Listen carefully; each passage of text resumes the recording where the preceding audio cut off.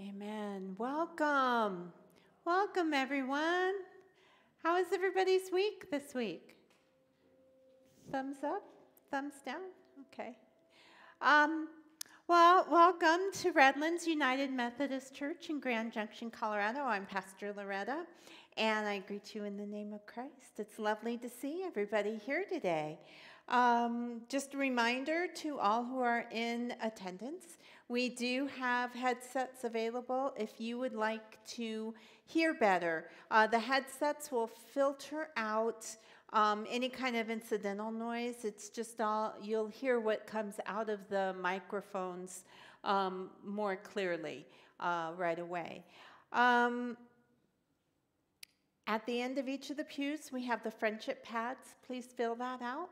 Let us know that you were here. Inside of that, there are uh, blue forms, um, prayer request and praise report forms. So if you have anything that you would like the body of Christ to pray for this week, today, um, please fill that out, include that in the offering, and we will be happy to pray for you. Uh, so I have a question, my friends. Has anybody ever put, gone into Google or a search engine and looked up Redlands United Methodist Church? Okay, so when you do that, what else do you get besides our church? Right, Redlands, California. Um, so that when I first started looking up Redlands, three, almost four years ago, um, that's what I got. And I got real confused. I started looking at their, their uh, list and everything.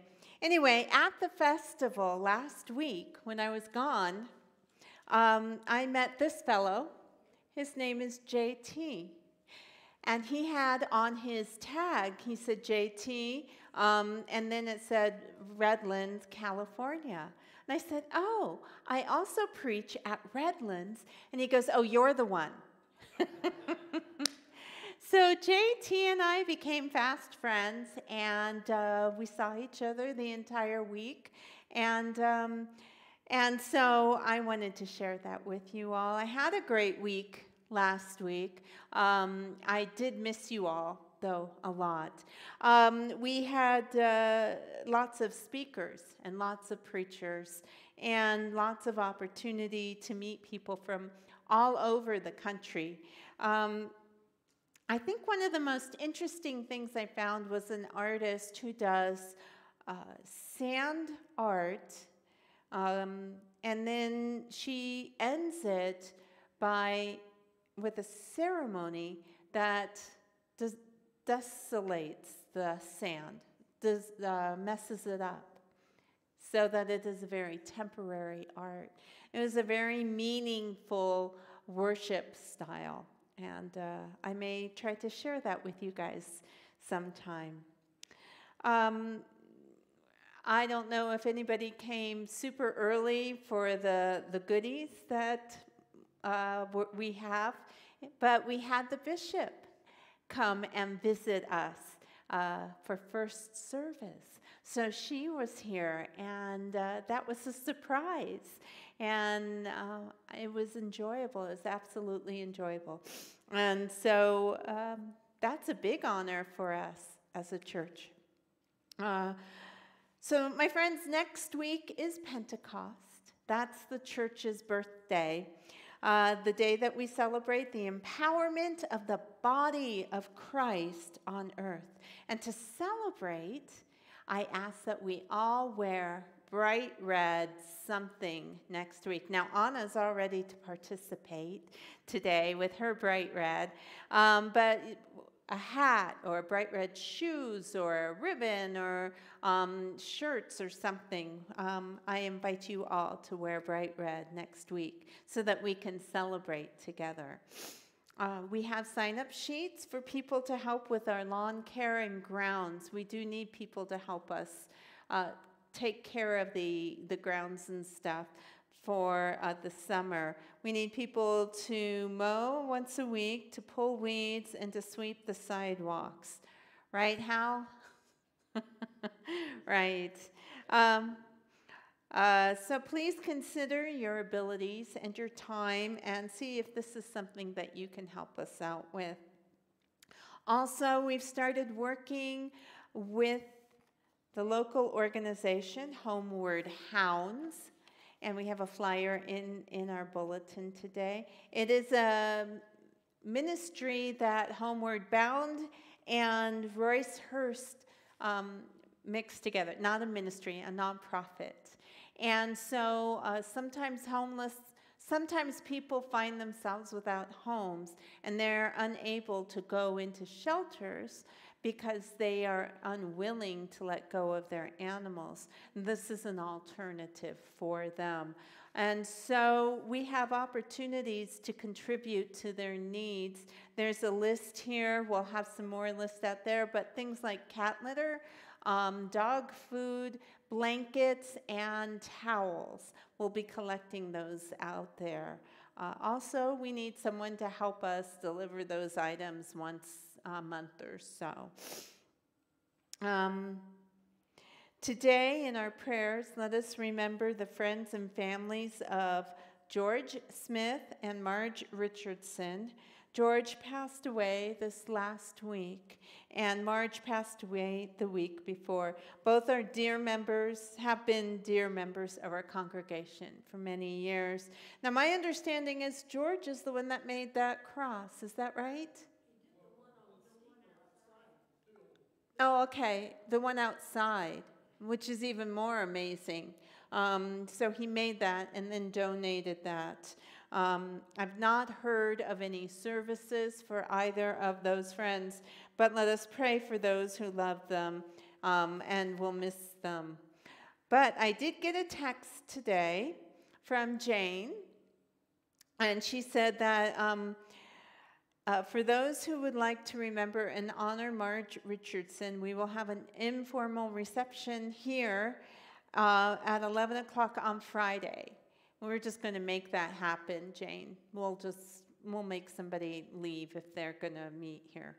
Um, so we've just begun planning it. I'm not really sure what we need to do to make this happen. Um, but if you would like to come and honor Marge, I ask that you bring a memory of some sort that you can either write out or um, share in one way or another. If you have a picture that of Marge that you would like to share with each other and with family. Um, also, I'm just assuming that we'll need to have some sort of um, small dessert or breakfast item if you would like to do that. We'll have something here though, right? Well, like I said, we're just started planning this morning. Um, more details will follow in the emails, but all who loved Marge are encouraged to attend. Her daughter will be with us as well. We're we're thinking at this time, right? Good. So um, that'll be good. That'll be really good to celebrate Marge together. Um, let us continue to pray for the loved ones of our Grand Valley youth, uh, especially the families of a young man named Ryan. Um, he passed away not last week, but the week before due to some medical issues. Um, he was a very intelligent young man who was loved by our youth and the leaders alike. So uh, let's pray for his family, but also for the young people. It's hard to lose somebody when you're in high school, um, you know, up here. And so let's pray for them as well. Uh, we do have a great opportunity to help with a ministry that is just starting up. It's called Tech It Up. Uh, the pastor of Parachute Ch- uh, Church, J.R. Atkins, he's teamed up with a lay member to create a nonprofit company that takes older computers and uses them to train young people to build, refurbish, and code computers. So we're ho- hoping to start some workshops here to get young people and their families interested in being part of the Redlands family together. We are going to have a computer drop off um, for our supplies. Uh, and if you would like more information and dates and numbers, this is an exciting opportunity. Let us know. Uh, the lady who uh, preached for me last week, Stacy, it's her husband who's starting up this this opportunity. Um, and then, speaking of young people coming to church, we're going to have the Custer Choir from Plano United Methodist Church here in town beginning their tour. And we're honored to be hosting them here on June 12th and 13th. We have sign up sheets for meals and other needs. Uh, and of course, we want people to come and hear them sing. We're very exciting, uh, excited about that. Invite your friends to come. It is a free concert. Finally, my friends, tomorrow is Memorial Day. And I'm pretty fussy about this day, actually. Um, but it is, it's a holiday for an important reason. Tomorrow, we will honor those who died in service to our nation in the military. I remember taking my Uncle Jay to the wall um, the Wall Monument in Washington, D.C. Now, he had served in Vietnam, but in a job where he had very low risk of harm. And when he came home, both times, uh, I was there to greet him. I was very young, but I offered him all the love that you can only get from a small child. And uh, so he did not suffer the way that many people did. Um, he was much luckier than many of the young men and women who were over there. When we went to the wall, he immediately started looking for the people in his unit and the people that he might have known and the people that he might have heard of. And that struck me to the heart. Most of us don't have jobs where that that experience with our jobs, looking for the names of those who died during the work that we did, our work. Tomorrow is a day to remember those people who have valued us much as they gave all that they had to allow us to continue to live our lives, worshiping the way we wish to worship. There are many ways to honor them. And my friends, this is important. Make sure that you are registered to vote. Now, I'm not going to tell you how to vote, um, but I want to make sure. Yeah, Lois laughs. Um, I'm not going to tell you how to vote, but I want you all to vote. And tomorrow, that would be a good way to honor them, is to plan on registering if you are not registered. Um, they paid too high a price for us to have our voice, not for us to use it. Um, for today, I would like to take just a moment of silence to say a prayer in our hearts uh, to honor their families and their loved ones.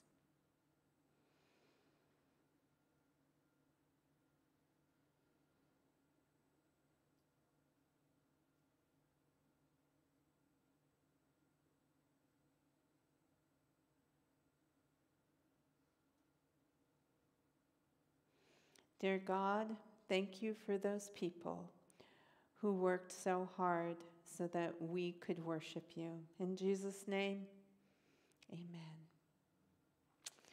And now, my friends, let's do what we came here to do. Let's worship God. We can begin by rising in body and spirit as you are able and uh, joining with our call to worship. This one was fun to do, this call to worship. It's based on a hymn, so it's a little sing songy. Breathe on me, breath of God, fill me with life anew.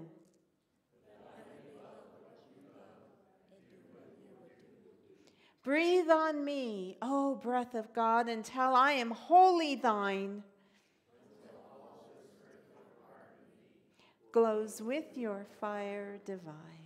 Please remain standing as you are able and join in with hymn number 603 Come, Holy Ghost, our hearts inspire.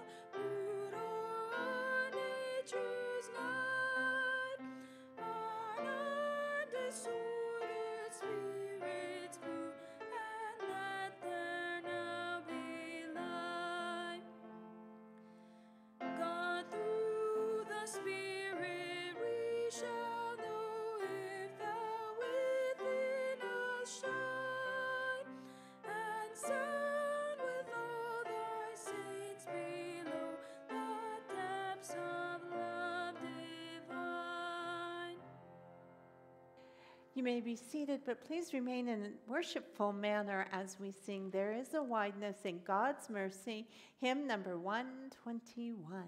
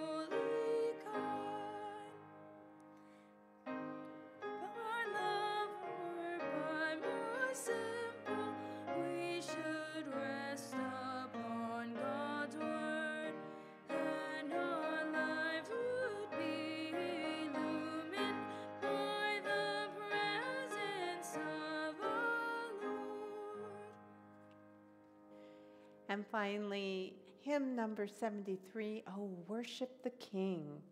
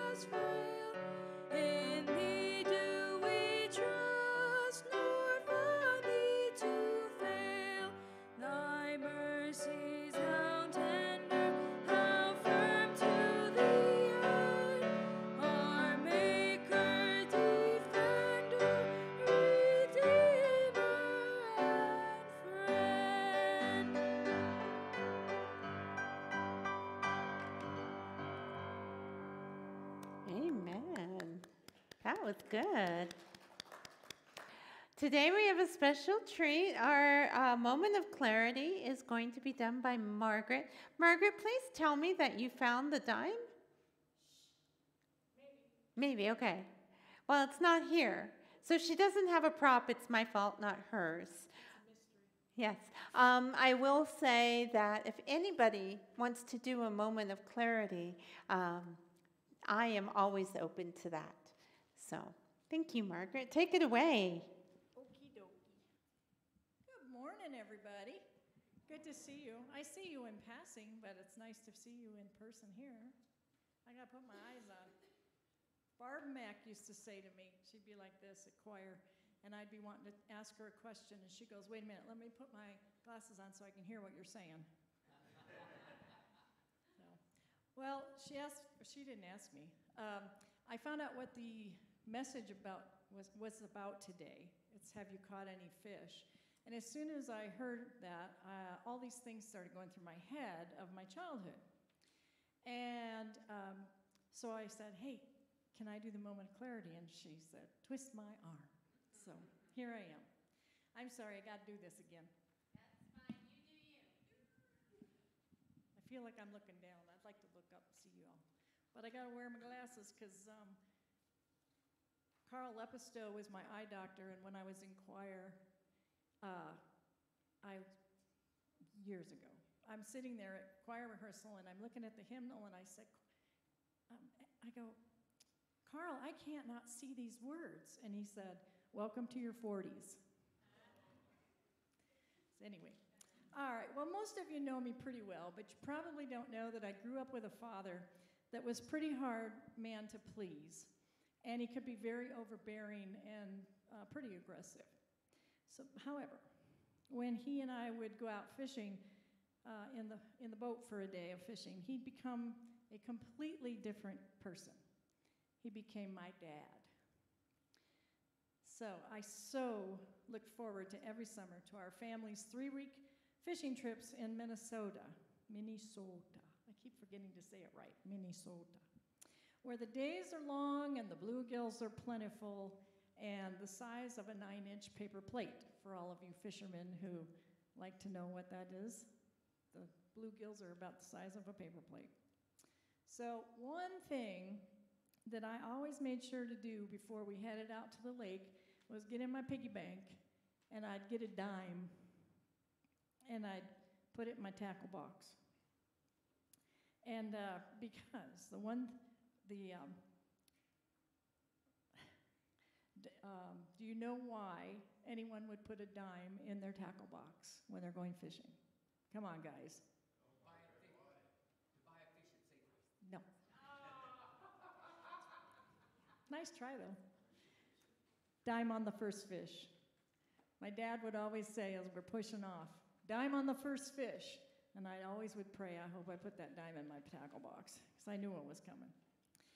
So, anyway, um, we knew, or my dad would sit at the front of the boat. There we are. I didn't have a picture of us when I was a kid. That's from Rifle Gap, actually. Uh, and I'd sit in the back. And he'd bait my hook when I was little, or not there. I was baiting my own hook there. But when I was little, he'd bait my hook, he'd throw my line out for me. And in Minnesota, you fish with whole kernel corn because they eat anything. They're just hungry. There's so many fish up there, the land of 10,000 lakes. They got to eat whatever that comes at them. So, anyway, he'd throw it, he'd say, throw it in. So I threw it in, and I sat, and I'd wait. Then in the meantime, he baited his hook. He called, cast it out. Bang, he got a hit right away. Started just bringing them in perch, bluegill, bass, walleye, you name it. Meanwhile, there I sat, waiting. And then bang, I got one. Oh, I reel it in. He's like, reel it in. I'm like, oh, I'm reeling it in. I get it up. It's a bullhead or a catfish, as many of you know. We call them mudfish. Why did I catch that fish? Anybody know why I might have caught that fish? Not what Dad was catching? He set my depth on the bottom so that he could catch his limit while I was sitting there waiting for my fish because catfish are kind of slow. So I pull it over to him and I make him take it off because I would not touch a bullhead. They have these little barbs that'll get you. So at that point, he reset my, he re- hooked, uh, rebaited my hook and he reset my depth. And then with the cutest grin, just like John 21 6 says, Jesus said, Cast your net on the right side of the boat and you will find some. And my dad said, Cast your line over the other side where the real fish are. And bam, I started hitting and getting them. They came up left and right. But I had to get that dime out, and I still had to pay him because he did catch the first fish. But we finished our morning excursion and we headed back to shore because we knew a fish fry was coming. So the question being asked in service today is Have you caught any fish yet? You decide.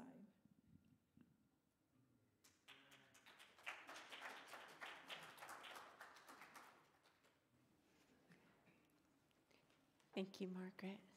Did you take your dime this time?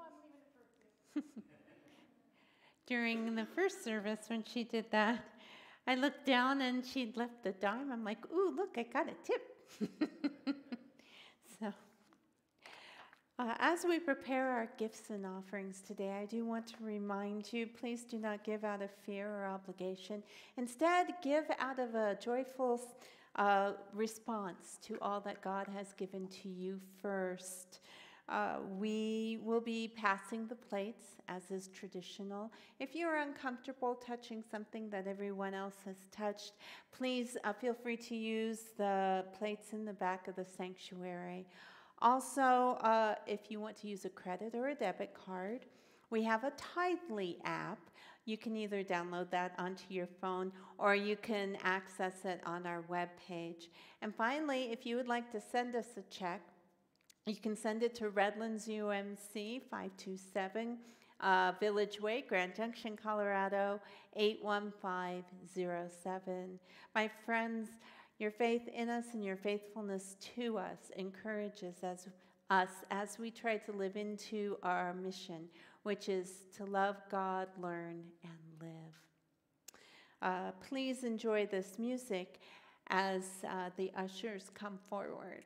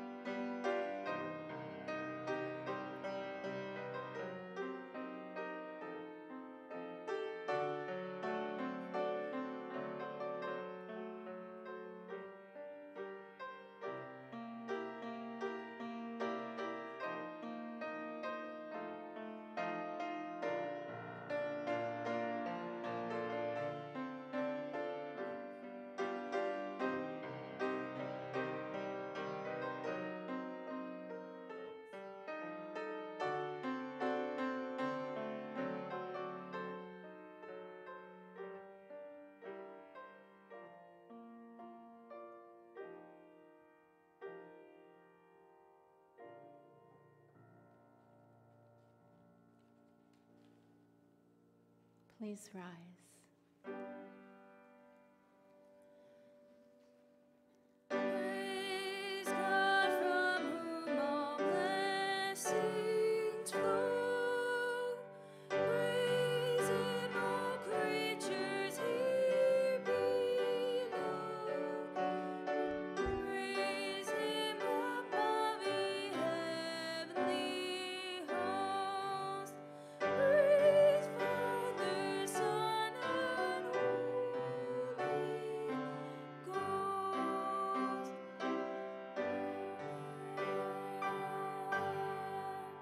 Please pray this blessing with me.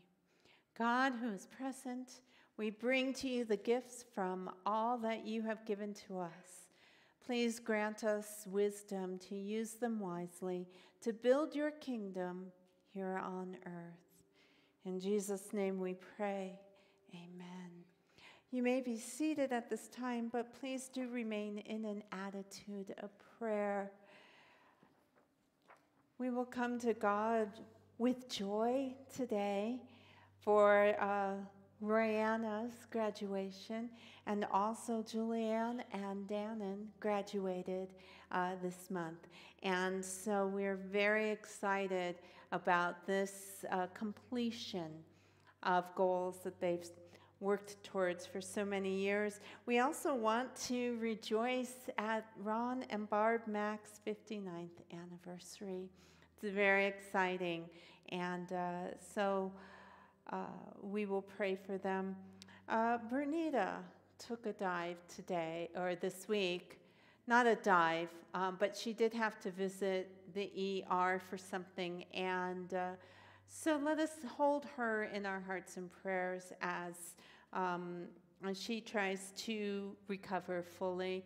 Pray for the medical staff that will be watching her as well. Uh, today I'm going, there are several very heavy issues that I am also going to bring to the Lord um, on our behalf. And so uh, I invite you to enter into a very worshipful time right now. God, today there are many events and concerns that we bring to you. We are grateful for our graduates and those who have succeeded in fulfilling their dreams. We're grateful for upcoming events that will offer us reasons to celebrate. Today, we are also grateful for the miracles of faith. Uh, for uh, we're grateful for your abundance presenting itself to us uh, in manners that we hadn't even thought to ask. Today we celebrate decades and years of love and birthdays and celebrations.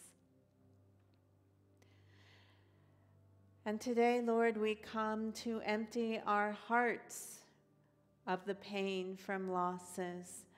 Some of our friends are no longer with us, but with you only. Some of us have had ill health and visits to the ER and frightening health scares.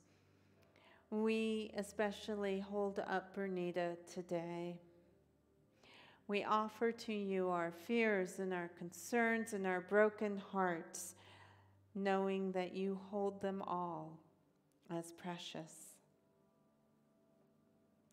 And Lord, in anticipation for tomorrow, we remember those who have died in the line of military duty we will honor and observe them tomorrow. Please keep us mindful of their work for us as we enjoy whatever the activity that we have planned uh, occurs. And Lord, today I bring to you two issues that weigh heavily on my heart. First, I pray for we pray for the people who are officers of the law. Please let us remember that they are people first. Please continue to bring those who enforce peace in our counties peace and knowledge on how to do what they have to do as best they can in life and death situations. Please continue to hold them as precious. Please remind us as individuals and as a church to pray for them continually. And Lord, we also pray for those who have lost their children and beloved friends and families in the Texas shooting this week. Our hearts are shattered grieving with the whole community. And though we do not know them as individuals, we understand what shared human experience is. Lord, we confess that we have not been able to protect our children. We desire to change that narrative as a nation, and we've not done it yet. So show us what we have been doing has not been working. We argue, we point fingers, we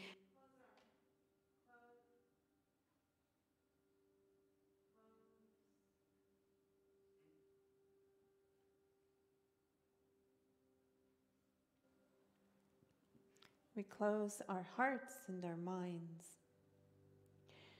to possible solutions because they may come from the other side. So, Lord, open our ears, teach us to listen, open our hearts, open our eyes. Let us follow the example of your followers who, when they did something that did not work, they tried something else. Let us listen to others sincerely listen, and try something else. Help us to recognize your words for your solutions, regardless of the source. Lead us not into apathy. Please continue to break our hearts until we seek you first and your kingdom. We are in pain, Lord. Heal us. Amen.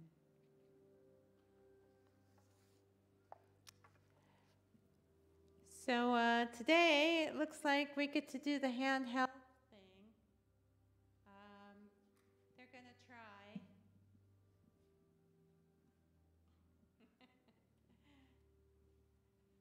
All kinds of fun. Yeah, go, go ahead. Um, so while I read the scripture, I'm going to pretend I'm a pop artist, okay? John 21, 1 through 14. I love the prayer music. These guys are working really hard for us. I think uh, that's pretty amazing. Amen. John 21, 1 through 14. After these things, Jesus showed himself again to the disciples by the Sea of Tiberias. And he showed himself in this way. Gathered there together were Simon Peter Thomas, also called the twin, Nathanael of Cana in Galilee, and the sons of Zebedee, and then two others of his disciples. Simon Peter said to them, I'm going fishing. And they said, Well, we'll go with you. So they went out and they got into the boat, but that night they caught nothing. Just after daybreak, Jesus stood on the beach, but the disciples did not know that it was Jesus. So Jesus said to them, Children, you have no fish, have you? And they answered, No. And he said to them, Well, cast your net to the right side of the boat, and then you'll find some. And so they cast it. Any luck? Ooh, okay. Thank you, sir. Uh, so they cast it. and now they were not even able to haul it in because there are so many fish. And that disciple whom Jesus loved said to Peter, It is the Lord. And when Simon Peter heard that it was the Lord, he put on his outer garment, for he had taken it off, and he jumped into the sea. But the other disciples came in the boat, dragging the nets full of fish, or they were not far from the land, only about a hundred yards off. And when they'd gone ashore, they saw a charcoal fire there with fish on it and bread. And Jesus said to them, Bring some of that fish that you've just caught. And so Simon Peter went aboard and hauled the net ashore, full of large fish, 153 of them. And though there were so many, the net was not torn. And Jesus said to them, Come and have breakfast. Now, none of the disciples dared ask, Who are you? because they knew it was the Lord. And Jesus came and took the bread and gave it to them and did the same with the fish. This was now the third time that Jesus appeared to the disciples after he was raised from the dead. The word of God for the people of God. I was reminded recently of a story of my daughter's fishing experience Her graduation gift was a trip to a small Mexican island where we took her fishing, among other things. Now, on the boat, there was the guides, there was Craig and I, um, our son, Ryan, and then Andrea, of course, celebrating her graduation.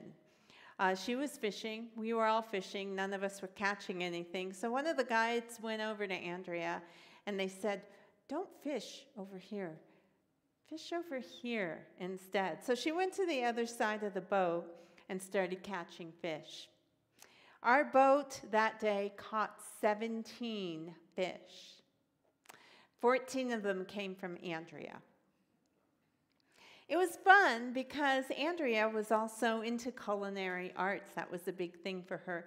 Uh, so she went out, she caught the fish, and then she brought it in for cooking and cooked it and prepared it for us. And that was supposed to be her graduation gift, not ours. In our text today, our disciples, they didn't know what to do next. Uh, they had already seen the Lord. Even Thomas, finally, Thomas got to see the Lord. And Jesus had visited them. They touched him. They knew he was real and what he said was real. The choices they made for the past three years were indeed worth it. But they really did not know what to do next. They were on the cusp of something really big. And they knew that, but they didn't know what to expect. They didn't know how to prepare. And so they did what they knew how to do they went fishing. It was an ordinary activity, one that they did long before they met Jesus, one that they did during his entire ministry, and it was a, almost an automatic thing for them. Active fishing required that they be aware of all that is around them. Perhaps this activity would become almost meditative for them, uh, quieting their very busy minds. Maybe they would find some peace in the ordinariness of fishing. And it was nighttime when Peter started this venture. They all boarded the boat. Peter took off his outer garment, hoping for a really active night. And he was disappointed. It was a long and fruitless night. Now, nighttime and darkness had always been seen in this gospel as a place where the unbelief thrived. It was in the night that Nicodemus had sought out Jesus' wisdom about being born again. And it was at night when Jesus was arrested. And it was at night when Peter had denied Jesus three times. Peter's heart sank as he remembered that night. The disciples had hoped doing something they used to love, something ordinary, might distract them or bring them peace. They were not distracted, and they had nothing to show for their night of labor, not even a sense of peace. But it was in their ordinariness that Jesus showed up. The sun began to rise as they returned to shore. The dawn illuminated a silhouette of a man, and he called them friend or children. Friend, did you catch any fish? They replied they had not. And so, so he suggested that they try something new, something different. Cast your net on the other side of the boat, he called to them. It was a simple suggestion. If what you're doing isn't working, try something different. Then the kind man started a fire on the beach. The sun, it continued to rise. In the same way that darkness is where the unbelief thrived, it is in the light, in the day, that belief swells and grows into fullness. It is in that dawn of day that Jesus visited Mary outside his own tomb. It is in the daylight that the blind man was able to regain sight. It was in the middle of the day when Jesus called his disciples and promised uh, Nathanael, Very truly, I tell you that you will see heaven opened and the angels of God ascending and descending upon the Son of Man. That's in John 1. Nathanael smiled at that memory. The disciples began to enjoy a huge catch, an abundance of fish. So many fish their nets almost broke from the weight. That many fish required all of their strength. Then the beloved disciple, and we always assume it's John, the beloved disciple looks at this man on the beach again. The sun is rising more quickly now, and his features are familiar.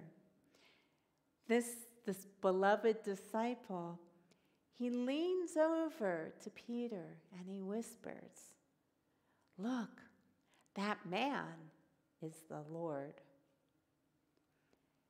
Peter squints for a minute. Then recognition dawns as the day dawns. Peter forgets his catch, his friends, his boat.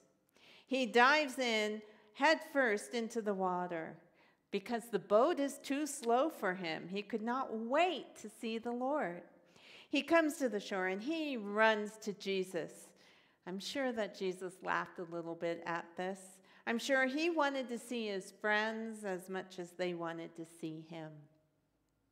By this time, the other disciples recognized their Lord. Uh, however, none of them were as impetuous as Peter. They struggled with abundance. Even with the newfound strength that comes from joy, they battled with their nets. Go out and help them with the catch, Jesus told Peter. I imagine that Peter was staring at Jesus, completely unaware of his brother's efforts. Peter comes to his senses. He runs out and helps pull in the catch. Everyone is laughing as they bring the full net onto the shore and up to Jesus. Then they all greet Jesus. And I imagine that there was a lot of laughter and affection at that point. They all go to the fire, they share a breakfast of fish and bread again. Not only, uh, Jesus not only visits them, he nourished them, he warmed them, and he spent time with them. And I imagine that they had some questions. There are experiences that only Jesus can testify to. What was heaven like? Did his hands still hurt from the nails? And I imagine they wanted to talk about the good old days just a little bit. The expression on people's faces as they saw the blind man being healed, or that Lazarus as he came out of the tomb, or the good wine that was served at the wedding of Cana. There was more to this visit than what we discussed today, more to the chapter. Jesus spent some time alone with Peter. Jesus made some predictions about the end of Peter's ministry. But this visit, this chapter, this, this was how the beloved disciple ends his gospel the story of good news. It's not the end of their story. We can thank the author of Luke for Acts, which tells more of the story.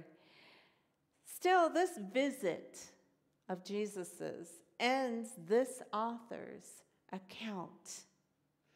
And it is the only place in the entire gospel where the author actually refers to himself. It is here in these last few verses that the author takes ownership of his writing. He says this that follower is the one who is telling these things. He is the one who has now written them all down, and we know what he says is true. And because it is basically the only time he refers to himself, Some experts question whether the beloved disciple even wrote this part of the gospel. Some think that because it was such a different voice, that someone else must have tagged the ending on, finishing what they believed was an unfinished piece of work. If that is true, that doesn't negate the fact that this is still the sacred word of God. And it would just mean that they had yet another contributor. Personally, I do not question the authorship of this question uh, section, at least not today. I don't. I believe that it is intentionally cryptic, like Jesus, because Jesus was cryptic. We are never really told who the beloved disciple is. But we learn in this section that this disciple is a witness and testifies to the presence of Jesus on earth. I believe that the author, and it is most likely John, left the identity open intentionally because he wanted the reader to envision themselves in the place of the beloved disciple. Maybe he wanted Hal to see himself leaning on Jesus at the Last Supper. Maybe the author wanted Dorothy to feel the weight of caring for Jesus' mother at his own crucifixion. Maybe the reader, us, is supposed to envision themselves running to the tomb with Mary when she came and said Jesus was gone. Or maybe the reader is supposed to see themselves looking into the empty tomb. Maybe the author, the beloved disciple, wanted the readers to see themselves doing something ordinary, like fishing, and then recognizing Jesus on the shore. What if we imagine ourselves as the beloved disciple? How would that change this story? How would that change our story? This may be a stretch. It may be that the author it wasn't that crafty and that it's only the scripting and the translations that kind of imply that. But still, friends, I challenge you to reread the Gospel of John this week. And it's not that long. In the Bibles, uh, in the pews today, it's only 24 pages. But I challenge you to read the Gospel of John, and instead of seeing a John type of person in the story, imagine yourself instead. It's a new direction in reading the Gospel. Perhaps it will help us recognize Jesus in the ordinariness of our lives as well. Let us pray.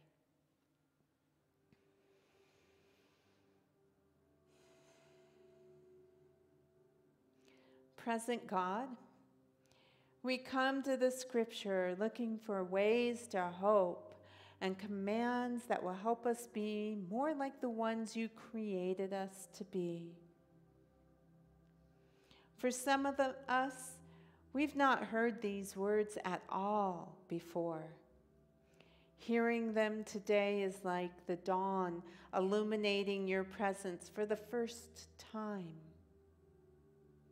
And for some of us, we have heard these words often, and we only seek to be reminded of the lessons and hope that they bring. So open our hearts, open our eyes in a new way to see them in the same fullness of your word, your gospel, your story. We long to be your beloved disciples, to care for your widowed mothers, to believe in your resurrection, and to recognize you in the ordinariness of our lives. We long to see you in our lives. Thank you, Lord, for being with us, for challenging us to try new things and nourishing us and loving us and teaching us how to pray together, saying, Our Father, who art in heaven, hallowed be thy name. Thy kingdom come, thy will be done on earth as it is in heaven. Give us this day our daily bread, and forgive us our trespasses, as we forgive those who trespass against us. Lead us not into temptation, but deliver us from evil. For thine is the kingdom, and the power, and the glory forever. Amen. And my friends, I invite you to rise in body or spirit as you are able and join in our affirmation of faith.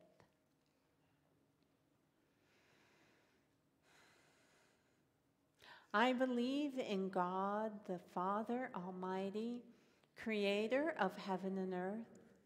I believe in Jesus Christ, the only Son, our Lord, who was conceived by the Holy Spirit, born of the Virgin Mary, suffered under Pontius Pilate, was crucified, died, was buried.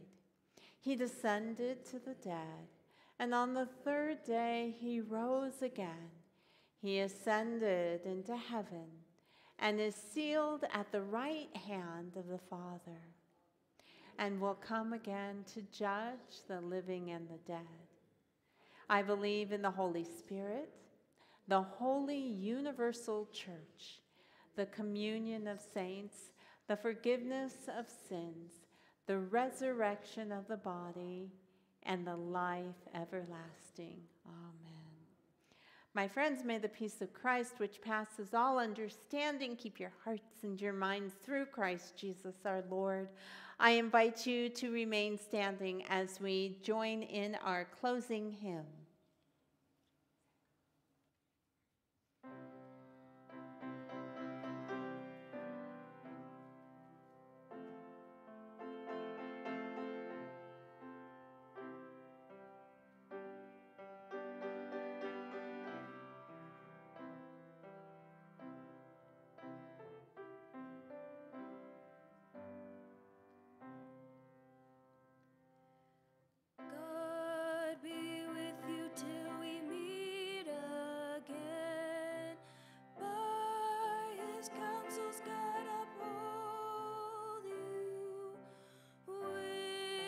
Securely for